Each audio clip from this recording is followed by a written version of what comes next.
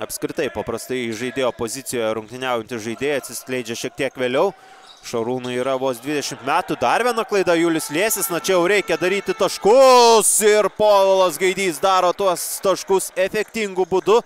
Labai įdomu, ką ten sumastęs buvo Julius Liesis. Ar tai buvo perdavimas ar metimas. Na jeigu tai buvo...